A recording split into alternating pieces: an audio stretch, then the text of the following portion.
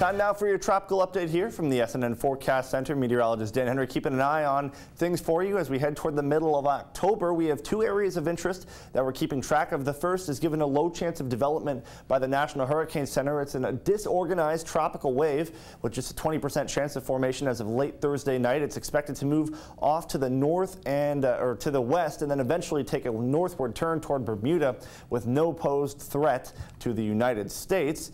And then we're also watching Category 2 Hurricane Ophelia set to impact the Azores Islands as well as Ireland by late this week and early next week. So Hurricane Ophelia now the 10th hurricane of the 2017 season with winds of 100 miles per hour. That makes it a Category 2 storm.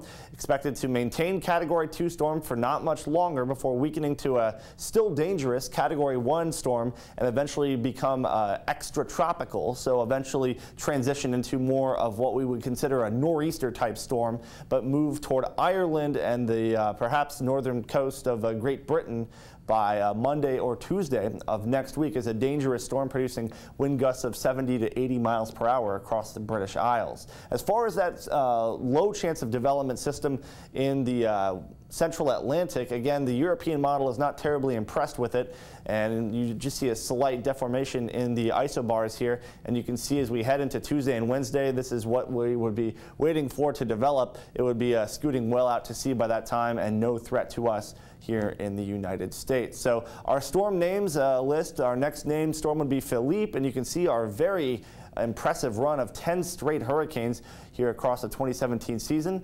Of course, we'll keep an eye on uh, things all the way through November 30th, the end of the season.